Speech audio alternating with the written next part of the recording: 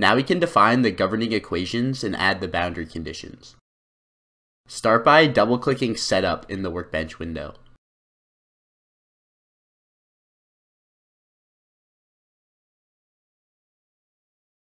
When the Fluent Launcher opens, select Double Precision. This increases both the precision and range of magnitudes that can be represented, but at the cost of using increased memory. Under Solver Processes, change this to match the number of CPU cores on your computer. This allows for effective parallelization that will improve the solution time. Once this is set up, click Start to start Fluent.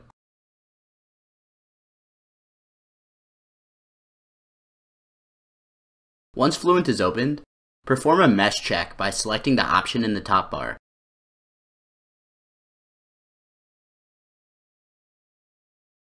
We get no errors in the command pane, so our mesh is sufficient to get good solution results.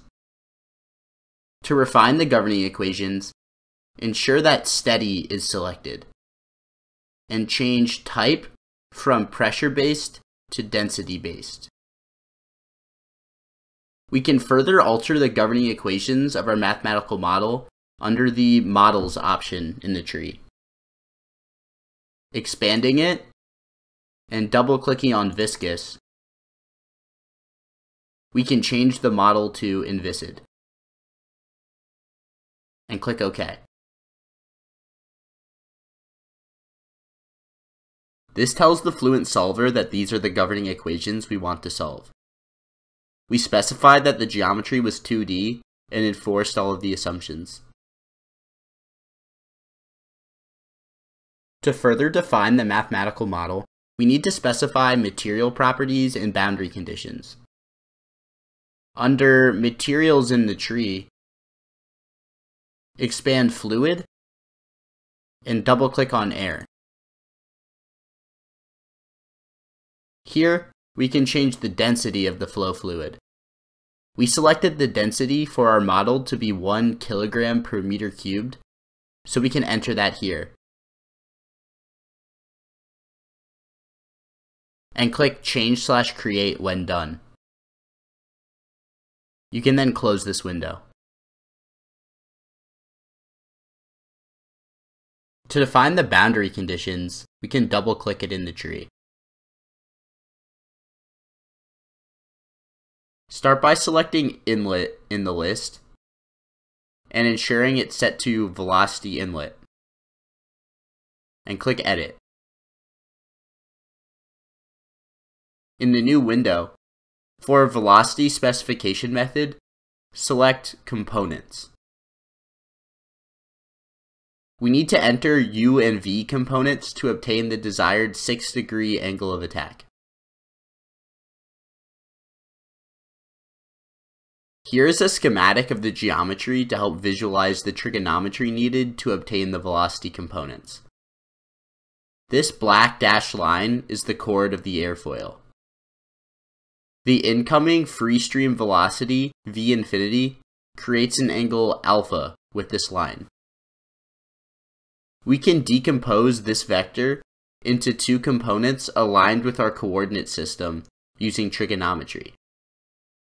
This gives us the resulting expressions shown here. Plugging in our v infinity and alpha values gives us 0.9945 for the x component and 0.1045 for the y component. Back in Fluent, we can enter these values here.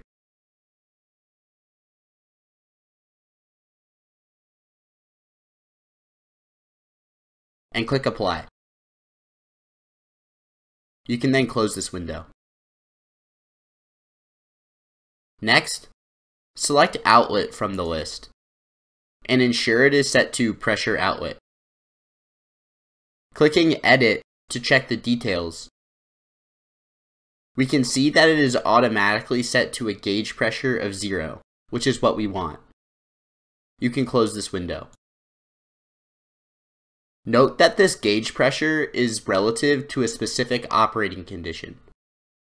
We can check this value by selecting Operating Conditions. Where we will see that it is set to atmospheric pressure. Using gauge pressure instead of an absolute pressure reduces errors caused by saving small differences of large numbers to memory.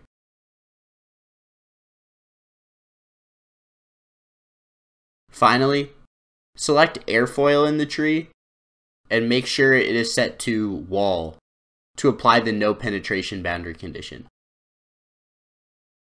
Doing this fully defines our mathematical model that we can now begin to solve. Make sure to save your project.